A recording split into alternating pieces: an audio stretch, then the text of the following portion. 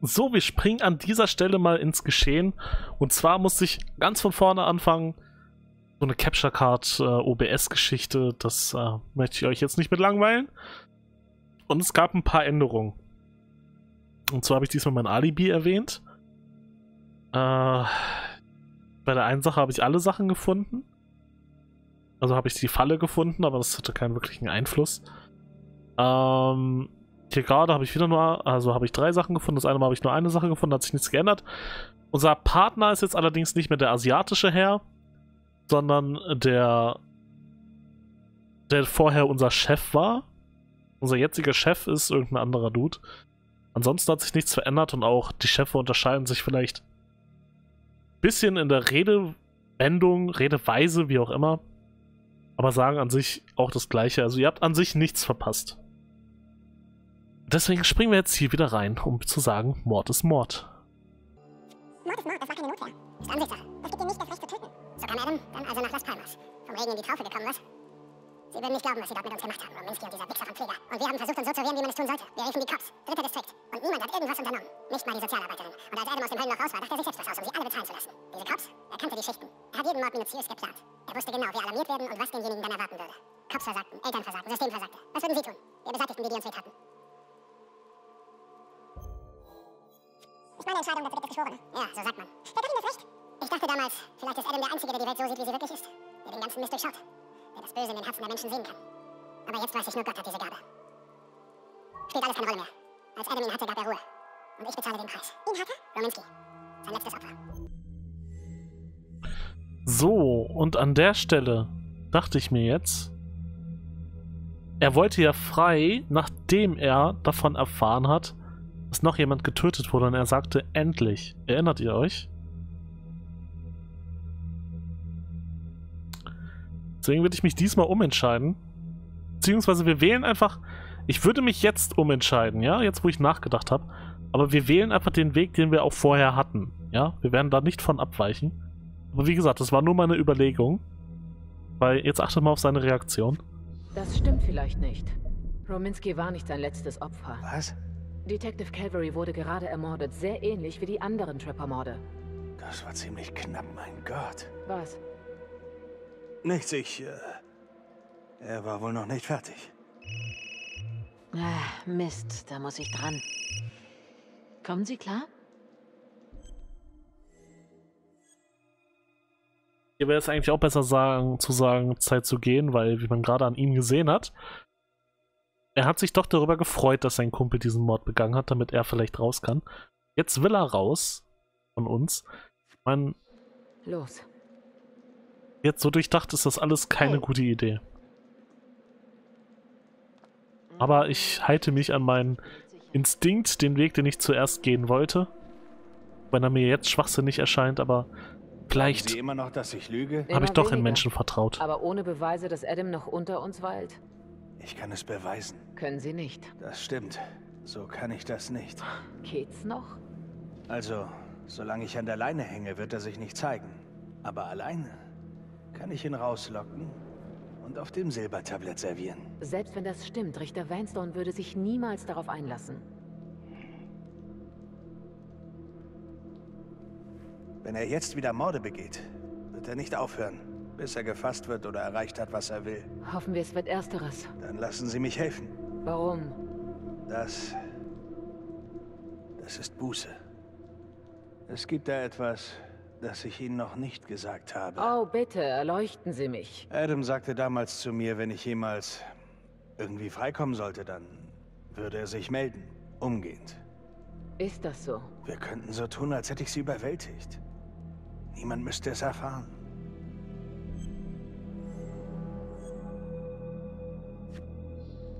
Ich kann kaum glauben, dass Sie so etwas überhaupt vorschlagen. Doch, können Sie. Sie wissen, dass Sie ihn sonst niemals kriegen. Hören Sie, ich bin kräftiger als Sie. Passt auch sehr gut. Wir lassen es echt aussehen. Häftling 75422 soll umgehend wieder in Gewahrsam genommen werden. Hier ist Officer 732, Anfrage erhalten. Bitte warten Sie auf eine Bestätigung.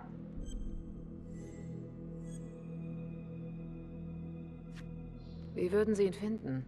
Ich habe ein paar Beziehungen. Ich kann ihn finden. Sie müssen mich nur lassen. Tun Sie's.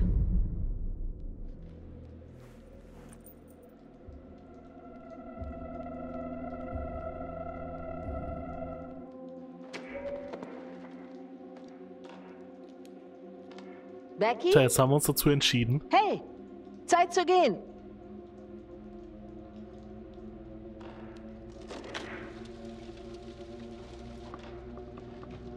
Uns das vielleicht wieder verdächtig macht oder auch ein schlechtes Licht auf sie wirft. Sie hier. Becky! Oh shit! Wir brauchen Hilfe hier oben! Jetzt! Aber naja, wir versuchen es einfach mal.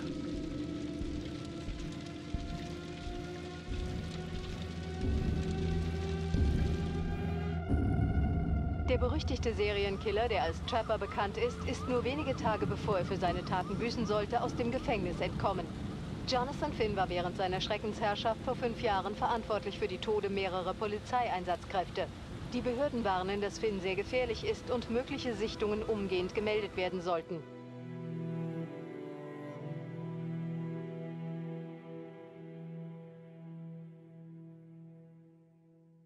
Okay, ich will wissen, was passiert ist. Und zwar jetzt gleich.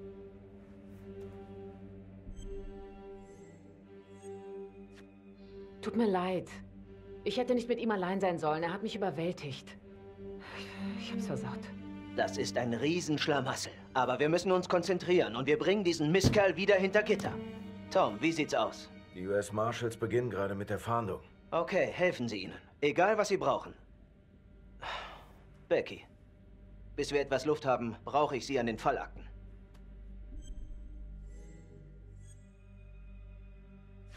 Okay, ich setz mich gleich dran. Also.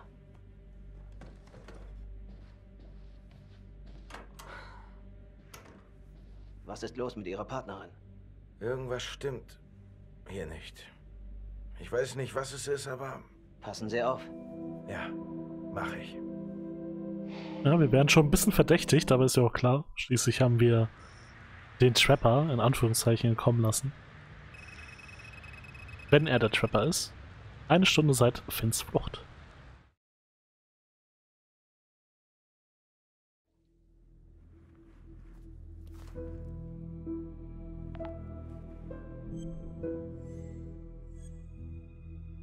So, und an der Stelle habe ich bemerkt, dass ich nicht mehr aufnehme. Beziehungsweise, dass, äh, beziehungsweise, dass ich nicht aufnehme. Und ich hatte Pfleger von Las Palmas gewählt. LeMay, Pfleger in Las Palmas. Wurde immer wieder kurz im dritten Distrikt eingebuchtet, war aber dafür berühmt und berüchtigt, längeren Haftstrafen stets zu entgehen.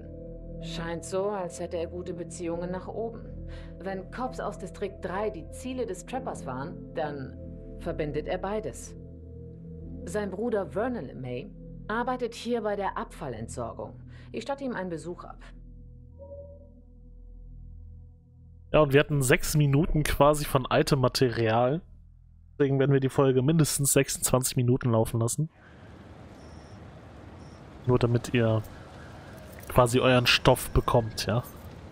Zwei Stunden seit Finns Flucht.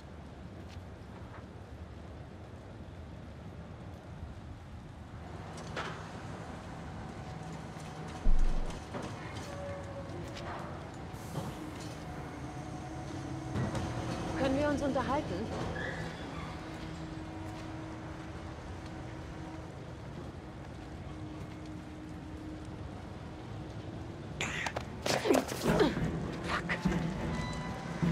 Was soll das denn? 4609, verfolge Verdächtigen. Er ist zu Fuß weg. Ja, achso. Alter. Oh. Ich doch nur ein iPad hätte oder so. Das ist furchtbar mit dem Handy.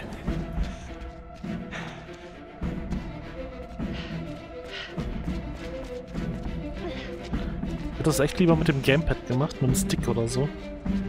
So. Hm. Bin ich nicht der größte Fan von, muss ich gestehen.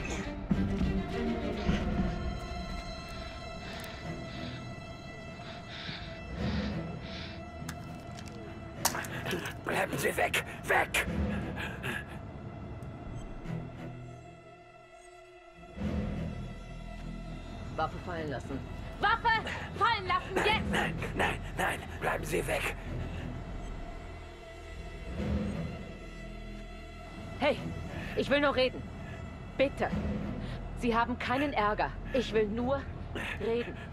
Na, danke, Schwester. Ich bin nicht blöd.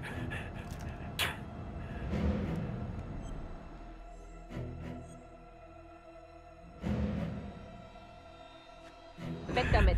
Jetzt. Oh, nein. Oh.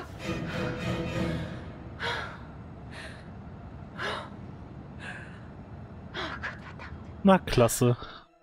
Das habe ich ja wieder toll hingekriegt. Starke Leistung, Saudi. Ah, verdammt. Hoppla.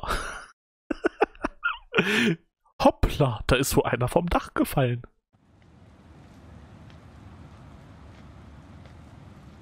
Hey, alles klar? Ja, ich. Ja. Was ist passiert? Oh Gott.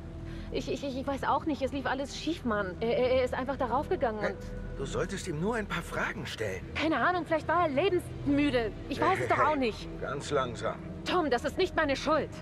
Okay. Ich will es ja nur verstehen. Er fiel. Das war's. Das ist passiert. Sag mir, wie es passiert ist.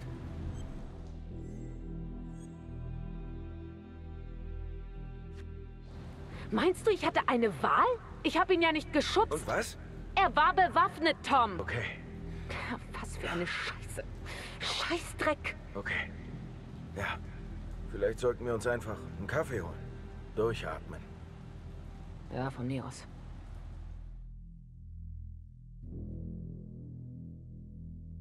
Ah, sie steht so im schlechten Licht. Ah.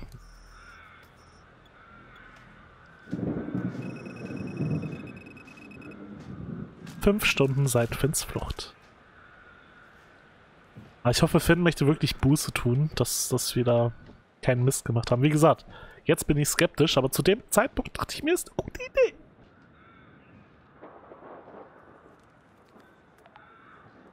Sagt man so aufs Bauchgefühl hören, ne? 20.23 Ich bin erneut an dem Tatort, an dem Detective Jack Calvary verstarb. Ich sehe mir zuerst das Schlafzimmer näher an.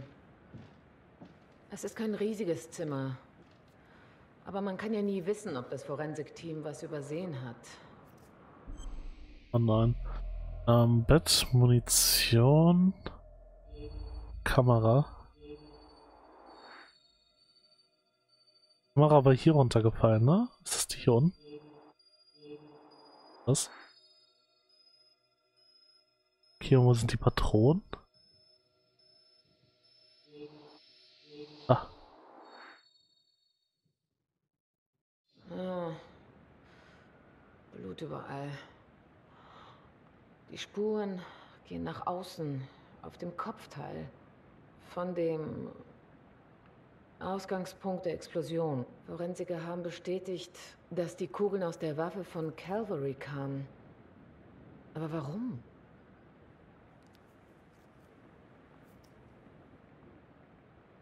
Hey,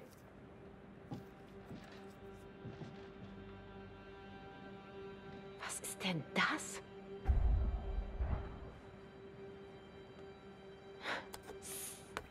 So ein Mist. Geht auch.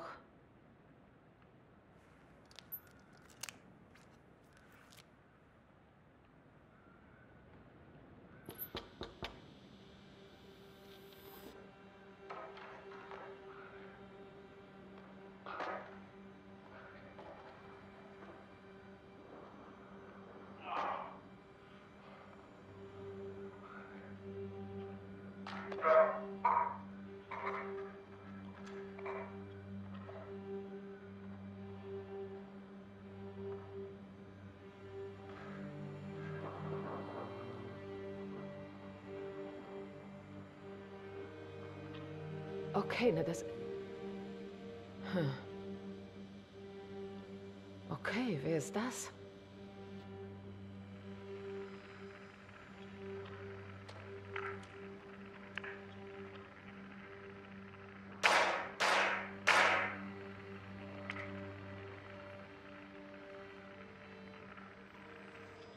Oh mein Gott. Wie in dem Waisenhaus. Hm. Wow. Tja, unwahrscheinliche Worte, aber zum Glück war Carrie so ein perverses Stück Scheiße. Das ist krass.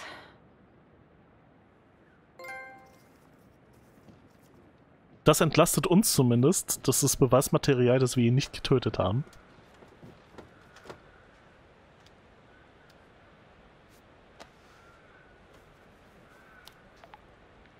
Kontakt. Wie möchten Sie anrufen? Felicity Graves. Felicity Graves an. Hey, Felicity? Hi, Becky, was gibt's? Haben Sie Zeit? Ich möchte Beweise durchgehen. Ja, gerne. Ähm, Temple Bar? Gut. Gut.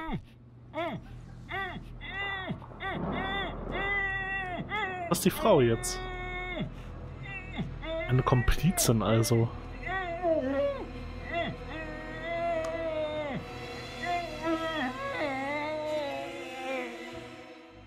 Okay, damit ist Teil 2 beendet. Tippt in das Feld, wenn es weitergehen kann. Machen wir, machen wir. Kann weitergehen. Noch so 10 Minuten.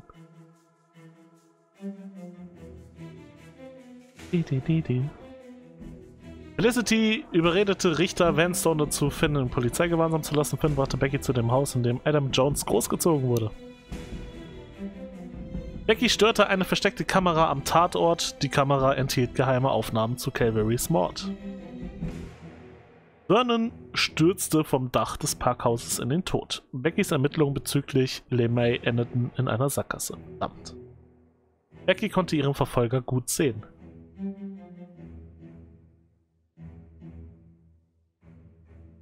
Becky half Finn bei der Flucht, damit er Adam finden konnte. Das werden wir bestimmt bereuen. Becky erzählte Finn, dass Calvary ermordet und präpariert wurde. Das war bestimmt der Fehler an der Sache. Jetzt hätte er bestimmt gar nicht freigelassen werden wollen.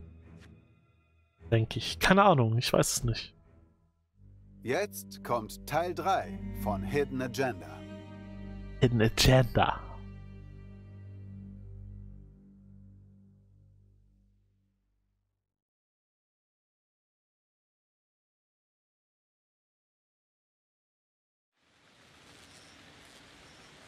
Tempelbar 20.45 Uhr.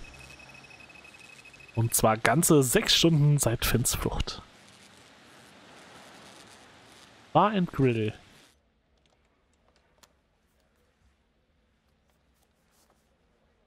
Der Typ aus dem Video? Mit dem Pulli?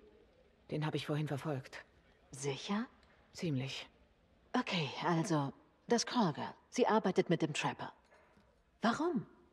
Sie lockt sie an und tötet sie und er stellt dann die Falle?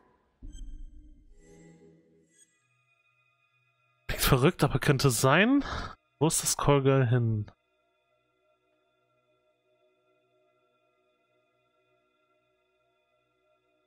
Das Callgirl hin. Äh, eins ist mir nicht ganz klar. Wo ist das Callgirl hin? Sie geht ins Bad und der Typ mit Kapuze kommt wieder raus. Danke. Und Calvary wurde von einem Callgirl getötet. Oder jemand, der sich so anzieht. Vielleicht hat Finn recht. Und Adam Jones steckt wirklich hinter all dem. Vielleicht machte Finn deshalb dicht, als er von Calvarys Tod hörte. Weil er wusste, dass Adam sein Versprechen, ihn aus dem Knast zu holen, jetzt endlich wahrmacht. Wissen Sie was? Es ist ziemlich spät. Ja. Ich sage, schlafen Sie drüber. Und gehen damit morgen früh zum Sergeant. Klingt Okay. gut. Bis dann.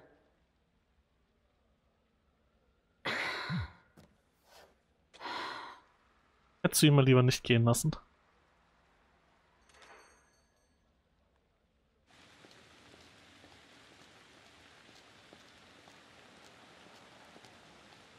Also ich. Also wir. Mitgehangen, mitgefangen, ne? Ihr wisst, wie das ist.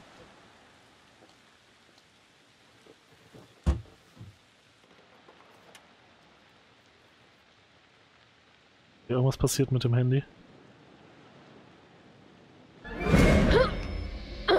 Alter. Ach komm. Ach komm, das ist doch Bullshit, ehrlich. Wenn man nicht damit rechnet, ja? Und mit diesem scheiß Touch-Handy kack. Ich konnte mich gerade in dieser kurzen Sekunde einen Millimeter fortbewegen. Es ist nicht machbar. Es ist nicht machbar.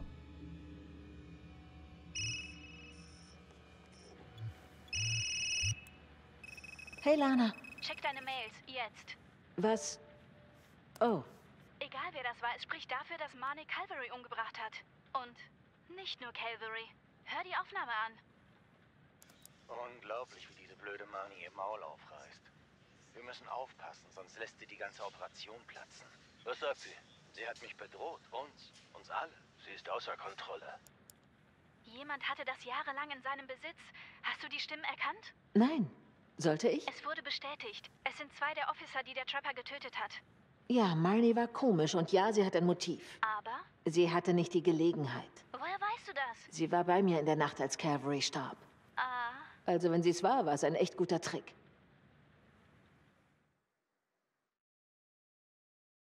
Das ärgert mich, Mann. Das, das finde ich scheiße vom Spiel, ja. Das finde ich echt scheiße. Wenn du einfach keine Chance hast, es zu schaffen.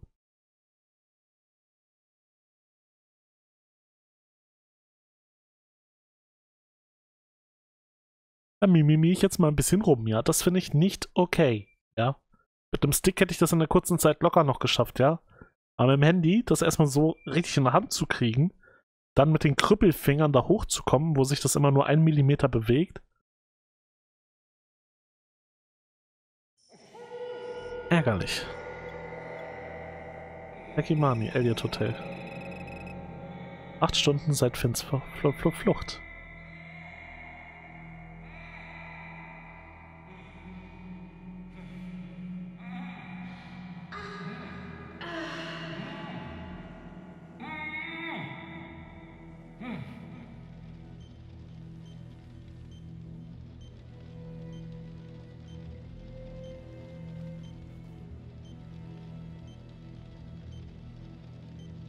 Nicht ihre Klamotten, oder?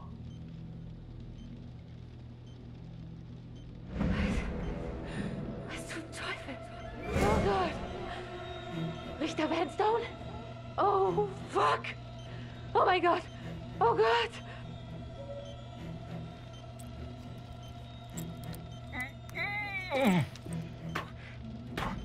Was?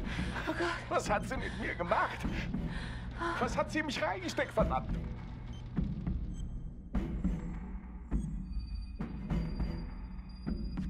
Ah, Richter. Vanstone, ich am. Was ist denn? Der Trapper. Er, er, hat, er hat sie präpariert. Was? Nein, nein, nein, nein, nein, nein! Äh, es ist wahrscheinlich ein Sprengkörper. Scheiße, ich muss nachdenken. Ah, Gott!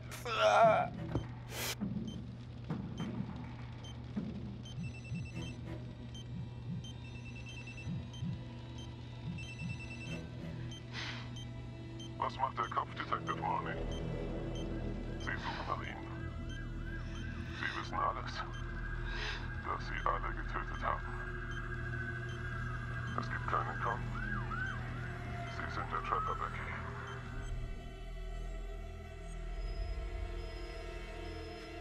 Wer sind Sie? Wieso tun Sie das?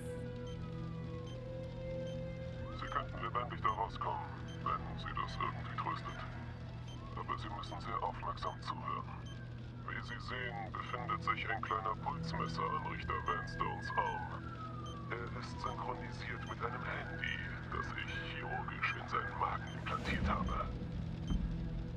Das Handy ist nur der Timer. Aber jeder seiner Herzschläge zieht eine Sekunde ab. Je schneller sein Herz schlägt, desto schneller die Uhr.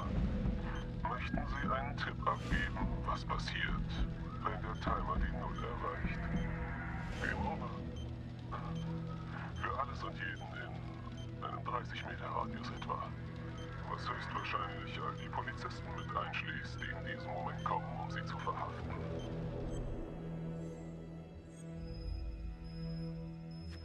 Wieso tun Sie das? Was haben Sie vor? Das verrate ich ganz sicher nicht einem zweitklassigen Cop. Manchmal ist Töten die einzige Option. Was?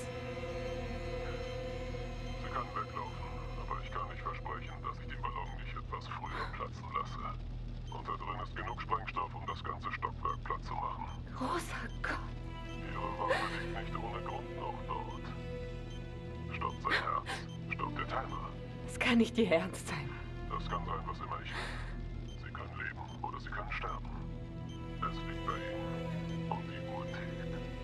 Das ist ein Saw oder was? Das ist eine furchtbare Entscheidung. Was hat er gesagt? Können Sie mich hier rausholen?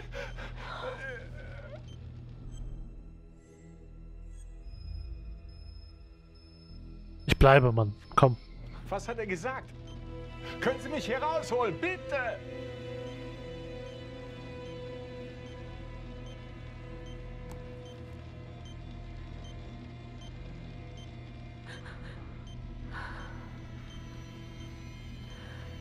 Schrecklich leid. Scheiße. Scheiße. Nein, nein. Nein, bitte, bitte nicht. Sie ist kein Mörder, nein. Ich schieße nicht.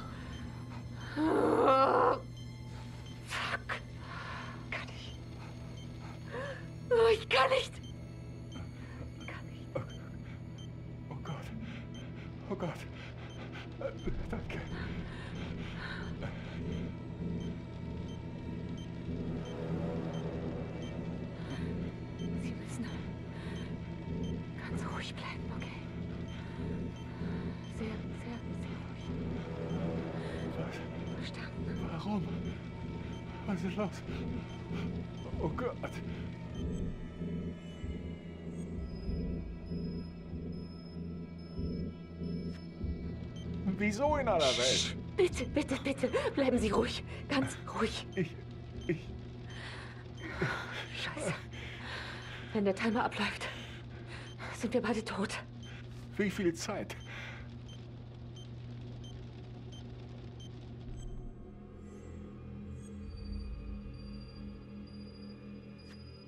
Wir haben noch jede Menge Zeit. Okay, also.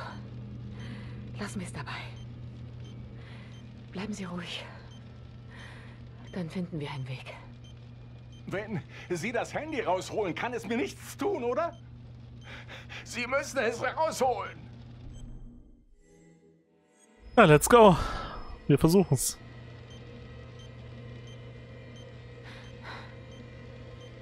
Nein, bitte! Ah, ich reiß nicht raus! Ah, ah, ah, ah, ah, Komm schon. Komm schon, komm schon, komm schon, komm schon, komm schon. Ja. Lebt er noch? Ja? Nein.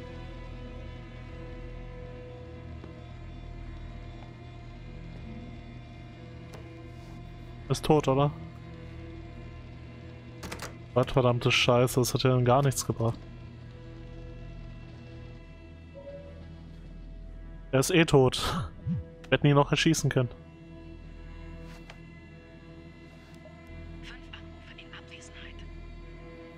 Kontakte.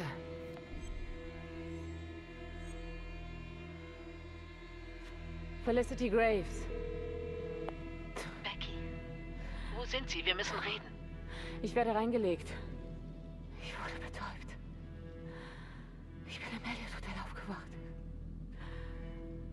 Richter Vanstone. Wurde präpariert vom Trapper. Wow.